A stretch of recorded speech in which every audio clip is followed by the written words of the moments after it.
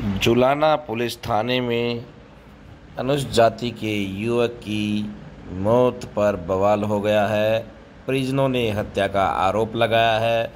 Police और पीड़ित आमने सामने हो गए हैं। वहीं बताया जा रहा है कि डीएसपी ने पीड़ित परिवार को धमकी भी दी है। देखिए एक रिपोर्ट। आज ये गाँव जुलाना के अंदर एक दलित जाति का लड़का जो तेरह तेरह तेरह तारीख को इसको उठाया गया था करीबन करीबन चार बज के कुछ मिनट पे। और रात को इसको कोई नशीला पदार्थ में इसके फुटेज खींचे गए थे। आज तक इसका इसके, इसके जैसा कोई शरीफ बच्चा कोई भी नहीं समाज के अंदर यहाँ पे। कोई भी शरीफ बच्चा इसके जैसा कोई शरीफ नहीं यहाँ पे। बहुत शरीफ लड़का था ये। ये जो खाकी वर्दी के अंदर जो पुलिस वाले गुंडे ही हैं ये डीएसपी जो गुंडा जो कह रहा है कि हम गोली से शूट करेंगे किस किस को शूट करेंगे? किस किस को शूट करेंगे पुलिस वाले गुंडे?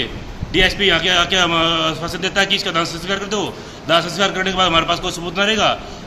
हमारे को चाहे कहीं से, चाहे हमको दस दिन रखना पड़ जाए चाहे हमने बिना रखना पड़ जाए जब तक हमारे को न्याय नहीं मिलेगा, नहीं, हम डेड बॉडी को यहीं रखेंगे। ये पुलिस वाले कान खोल के सुन ले। ये जो खाकी वर्दी के अंदर जो गुंडे हुए हैं, ये बीजेपी सरकार के गुंडे ही हैं।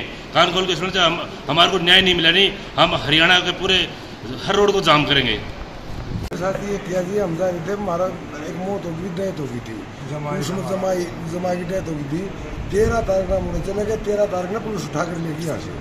बहू का धक्का मारा धक्का मार के ने यूँ कहा इतना बेरा बहू ने पूछा भाई कि क्या कर लिया रही धक्का मार के इतना बेरा पट जाएगा चार बजे उठा करके ले गए थे और उसके बाद उन्हें रोटी देने खातर गए मैं रोटियाँ तो रोटी भी नहीं खान दी अठारह तारीख ने मरे की लाश दी है इसका पास और कुछ नहीं करा। महाराष्ट्र दिखाया भी नहीं बोलन भी नहीं किया वो मेरा नाम है, वार्ड नंबर चार जुलाना का स्थायी निवासी हूँ और मेरे चाचा का लड़का पप्पी जो जिसकी डेट हुई है और इसको तेरह तारीख को उठा लिया था, पुलिस वालों ने करीब चार बजे।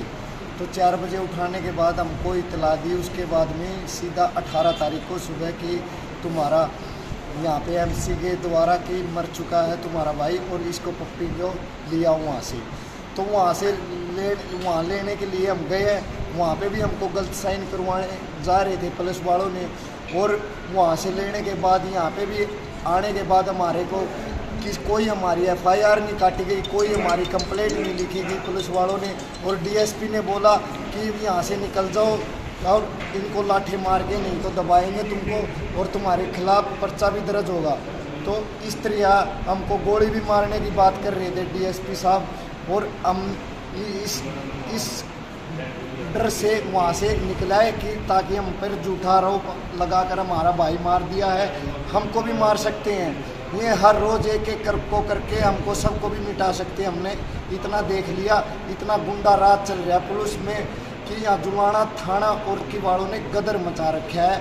और लेडीज़ों के साथ भी मारपीट की है। जिस दिन मेरे भाई को लेके गए, मैं कुछ खुद मौके वारदात पे गवाह हूँ। नहीं तो उससे कोई सामान बरामद हुआ था और लेडीज़ को भी मारा उसने और फिर क्या किया?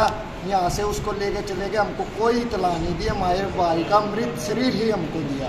आज जो है, हमारे दलित समाज का एक लड़का जो है, पुलिस ने तीन दिन पहले यहाँ से उठा लिया घर से। और ज़बरदस्ती, ज़ोर ज़बरदस्ती उसको नशे का कोई पदार्थ दे के बोला गया कि आपने, आप जो है यहाँ नशा सप्लाई करते हो, नशा बेचते हो, उसको रात को उठा लेंगे और दो दिन के बाद कल शाम को हमें उस भाई की डेड बॉडी मिली। दलित और बैकवर्ड समाज पे इतना अत्याचार हो रहा है कि कानून दलित और समाज को तो देखना ही पसंद नहीं करता, जबकि ये लड़का जो है दलित समाज से ताल्लुक़ रखता है और जैसे ही ये एक्सपायर हुआ, हमने पुलिस से पूछने की कोशिश की कि भाई, इनको हुआ क्या है? तो पुलिस ने संतुष्टिजनक जवाब ना देकर ये कहा, इसको ले जाओ, वरना गोली मार देंगे।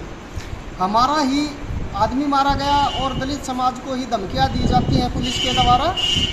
और अब हमारा एक निश्चय है कि हम दलित समाज के हैं, गरीब समाज के हैं, लेकिन फिर भी हम चाहते हैं कि हमें न्याय मिले। न्याय का अधिकार इस समाज में सभी को है, लेकिन हमने डेड बॉडी को यहाँ रख लिया है। हम आप चाहें तो डेड बॉडी देख सकते हैं कि हमने डेड बॉडी को रख लिया है और 20 दिन तक दस दिन तक, अगर हमें ज़रूरत पड़ी 10 दिन 20 दिन तो हम डेड बॉडी को यहाँ यहीं रखेंगे जब तक हमें इंसाफ नहीं मिल जाएगा। हमें इंसाफ चाहिए सरकार के द्वारा। ये गूँगी बहरी सरकार कुछ काम नहीं कर रही सिर्फ़ दिखावा दिखावा कर रही है दलित और बैकवर्ड के नाम पे। हम प्रचारित करेंगे आपके खिलाफ दो रोड जाम है। कोई बात नहीं कर दो जी। हाँ पहले बताते हैं आपको। चलो जी करो प्रचार चलो जी।